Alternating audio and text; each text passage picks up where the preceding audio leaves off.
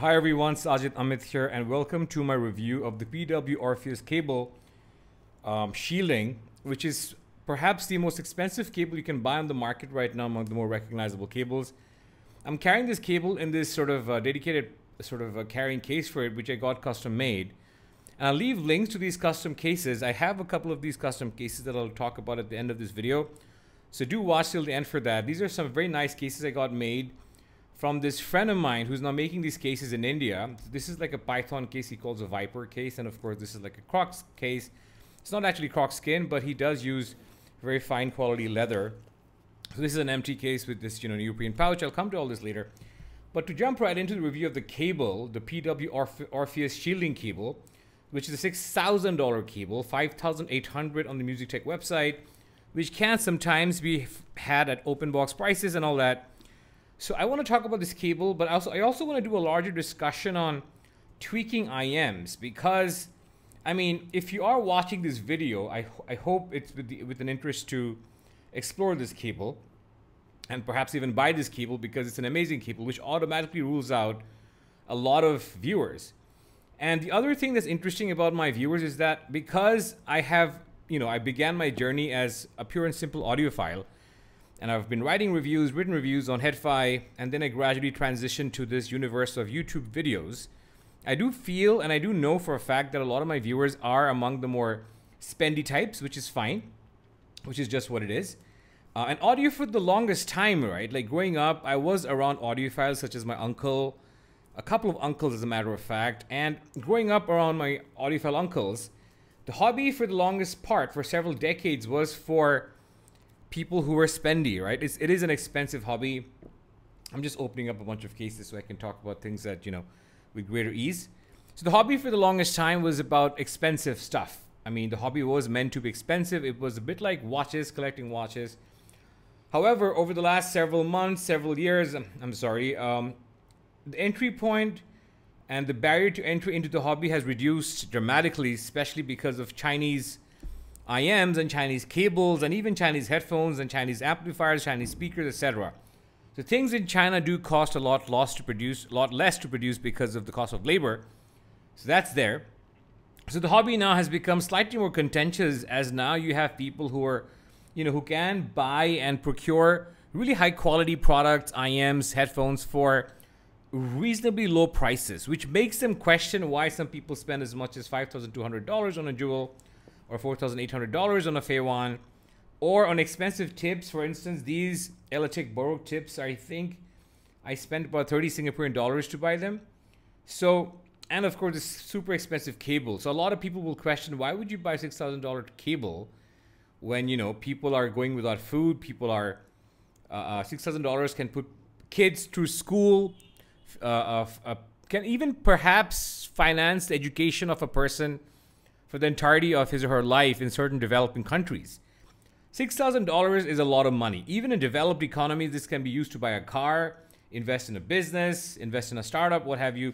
So I'm not going to shy away from the fact that $6,000 is an insane amount of money for buying cables, but at the same time, if you have the if you assume that people should be allowed to buy what they can consume, what they can afford, and people should be rewarded for their hard work, for their talents, for their investments in, in, in themselves. And if someone gets pleasure, because this hobby ultimately is about pleasure, right? It's about peace, it's about happiness, it's about serenity. And if someone gets serenity from owning a $6,000 cable, to say nothing about the sound that it does produce, and it does have a fantastic sound, I'll talk about that. I don't think Pitchfork should come out when we talk about expensive cables. So, with that sort of context out of the way, so you understand where I'm coming from when I talk about the PW Orpheus shielding, I do think it's very important in this hobby to have a live, live and let live sort of an attitude because that's what helps us get along. That's what makes this hobby interesting. Debates are obviously interesting, but debates I think have their place. But then, you know, pitchforks coming out because someone is reviewing cables or someone else is buying $6,000 cables. Someone might have a $100,000 setup for IEM. Some, someone might have a $500,000 setup for speakers. I mean, to each his own, right? I mean, if people are making money in the best possible ways, spending time, talent, energy. I mean, we should be in a position where we can applaud that. We should not begrudge people for spending money. And I don't mean to sound preachy, guys, but I do get annoyed when I see some rich shaming in the hobby. Because first and foremost, like if you understand where this hobby comes from, which is the world of two channel, I mean, two channel guys spend an insane amount of money on cables. They spend an insane amount of, amount of money on DACs, on amplifiers. I mean, in two channel, fifteen, twenty thousand dollars will just get you started in the hobby, right? So I do wish that our universe or sub universe was slightly more tolerant of each other's spending patterns. So the Orpheus comes from a Hong Kong based manufacturer called Peter Wong. And Peter Wong I've actually interacted with. I initially considered buying a cable outright from him, but my conversations uh, took their time, took their course, and eventually I decided to buy it from MusicTeck. You've seen me praise MusicTeck in the past, but that's also because how decisive they are and when they talk to you, when you you know uh, deal with them, when you uh, uh, pay them, and how quickly they ship the cable out to you. So eventually, I did not end up buying the cable from Peter Wong. I ended up buying it from MusicTeck. And honestly, I recommend that approach for others watching because that's how I got mine. Uh, uh, it's no sort of diss on, on Peter Wong, of course. I'm sure he's a gentleman and great to work with. But I just had a phenomenal time working with Andrew of MusicTeck to get this cable in. So this cable is a 4.4 termination, has a 4.4 termination at the amp side, two pin as is pretty evident this sort of two color theme going on with this beautiful shade of black and this beautiful shade of sort of like a navy blue. It's a copper cable. It's a pure copper cable. Has four cores inside, 26 AWG, and it sounds marvelous.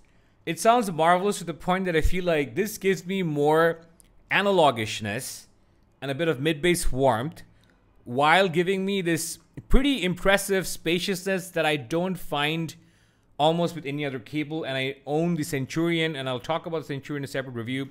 The Centurion is good at a few things that perhaps the Centurion perhaps trumps the Orpheus in a few uh, uh, areas and I'll talk about that separately in a Centurion review.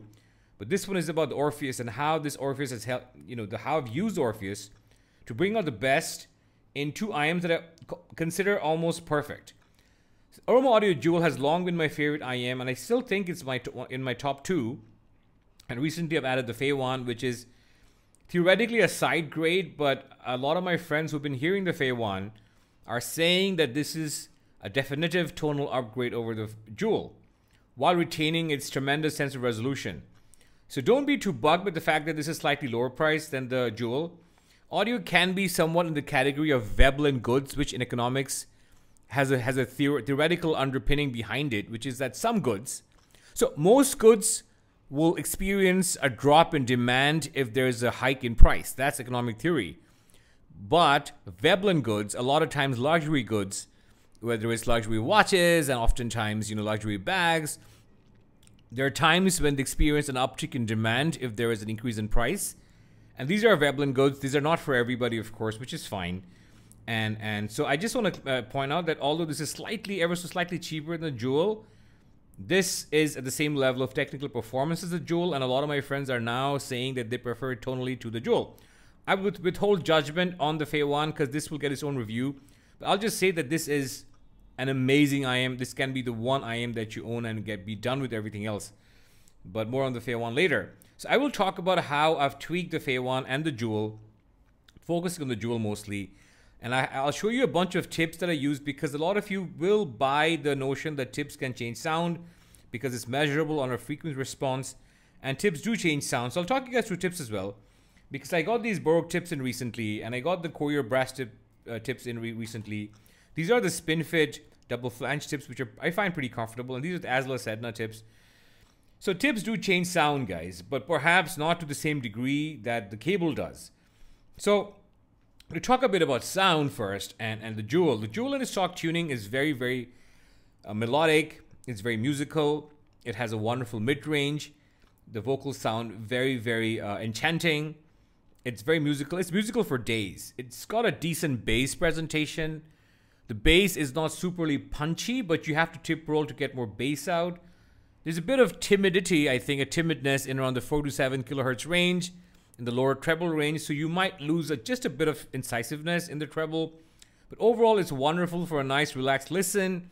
And if you tweak the Jewel a bit, add more air, etc., on the Sony WM1ZM2, which I've loved, which I think is my favorite DAP, you can get the Jewel to sound magnificent. And then you have a plethora of options on the Sony in terms of filters that I'm showing you right now, with which you can further tweak the sound of the Jewel. So the DSEE Ultimate just does make the Jewel slightly more incisive. The DC Phase Linearizer gives a little more body. And you can, of course, even tweak it further because you see Type B standard here. And you can, you know, all these very minute permutations do have an effect on the sound. Dynamic normalizer, uh, uh, you know, it works to minimize volume differences between songs. The vinyl processor has different types. So the standard uh, vinyl processor has a different sound from the turntable, and it's it will be very evident. In some cases, like these will make the vocals more uh, thicker. In some cases, it'll make the vocal vocals more pronounced. And even and in almost all cases with the vinyl processor, you'll get slightly less treble glare if that matters to you. The DSD remastering I often use with the Jewel because it does make the Jewel more incisive. So that's just that's to show you the multiple ways in which you can tweak the sound of your favorite monitors.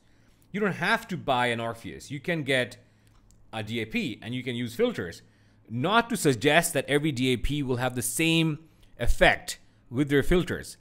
In a lot of cases, filters will have a minimal effect, a more subliminal effect, and not a very pronounced effect. In the case of the Sony DAP, they have their own uh, uh DAC system here.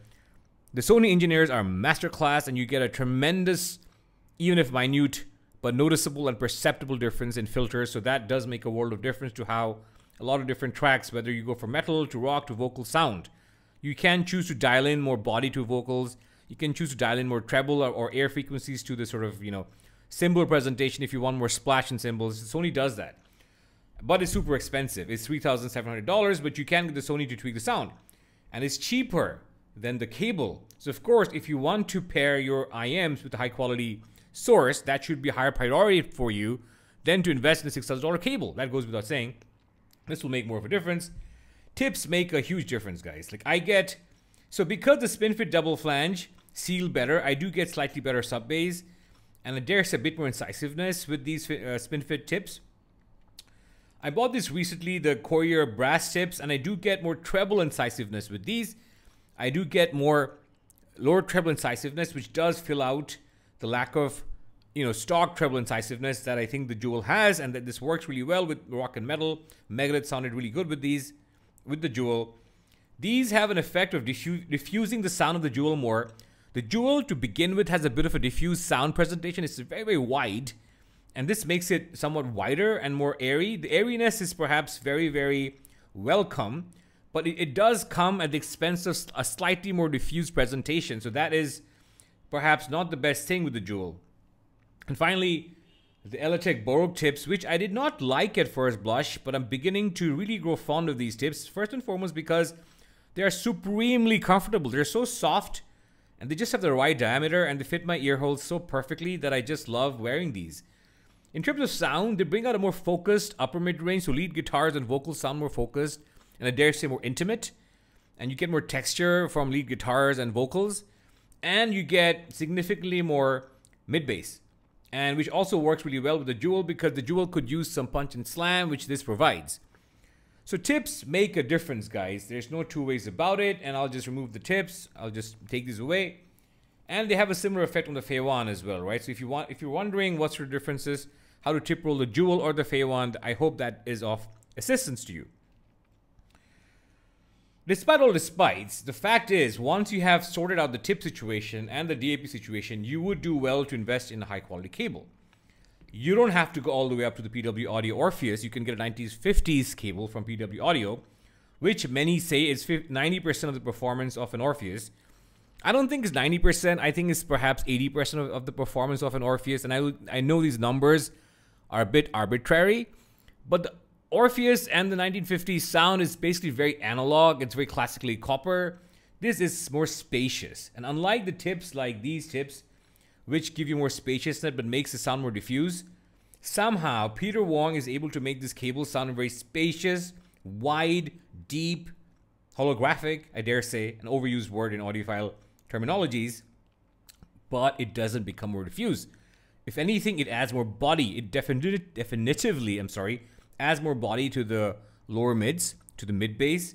So I sense that this cable paired with these Elatech Baroque tips just give the Jewel um, a lot better bass in terms of mid bass punch, in terms of bass sustain, bass decay, and bass texture as well, while retaining the intimacy of the vocals, while not compromising on the massive spaciousness the Jewel is known for, slightly accentuated by the Orpheus cable. So that's it, guys. Orpheus is a very unique cable. It's a special cable. It's not for everyone. It does pair even better with the one because the one has more air frequency. So on certain vocal tracks, because I like air, I'm HiFiMAN and Susvara fan, I get this sort of breathiness to vocals that is just makes vocals so delicate and just so exciting and so lovely and just enchanting that I love these. But a lot of you might think on certain sources that are neutral bright that this air frequencies might need some taming. So that's where the PW Audio Orpheus can come in because while it does not have a treble roll off per se, it does have the effect of presenting treble in a very languid, smooth, and effortless way. So this is a wonderful cable, guys, and I highly recommend it. And I, like I said, I recommended getting from MusicTeck. And just to finish up my discussion, this is a leather case, a pure leather case made by my friend Vishy. Vishy is based out of India. He uses the highest quality products. So you get this, you know, very plush material inside. It's it's all custom made. It's a spacious one, so you can, you know, even put like a massive cable like an Orpheus inside it. The Orpheus, despite being massive, doesn't have a whole lot of weight, guys. I mean, I think I find it reasonably ergonomic and comfortable. It's not a deal breaker in terms of ergonomics and comfort. But most high-end cables, with the exception of perhaps the Centurion, are somewhat uh, uh, bigger and thicker. So this is what it looks like. You can of course put you know IEMs with it, and it comes with a neoprene pouch, which is great because it's much better than the mesh pouches, especially if you live in a country that is very humid. This will protect your connectors, your cables, and your IEMs because humidity can be an issue with audio. So this is one of his uh, uh, uh, boxes. He's just started his business recently, and I promised to do him a favor and do a shout out. So I'll leave a link to his email address, to Vish's e email address, and this is a pouch he also sells with it, in which you can put an adapter if you wanted to, and he also has you know all the good stuff. Again, to keep your uh, uh, audio products free from moisture, and the neoprene pouches can be custom ordered. This is not croc skin. It's it's it's leather, of course, but he does these amazing croc prints, and I think they're far more reasonable than I think uh, uh, that might surprise you in terms of how reasonable and affordable these cases are. So do give Vishy some love. Uh, if you're interested in getting some of these cases, I'll, I'll leave a link to Vishy's website, his email address, and his Instagram page. Uh, uh, uh, tell him I sent you and see if he can hook you up with a discount because he's just beginning to get into his business, and I suspect you might be able to get these at a lower price point right now. And of course, I talked about the Orpheus and where to buy it from. And forthcoming will be a review of these mighty IEMs, which I feel will cause quite a stir in the hobby.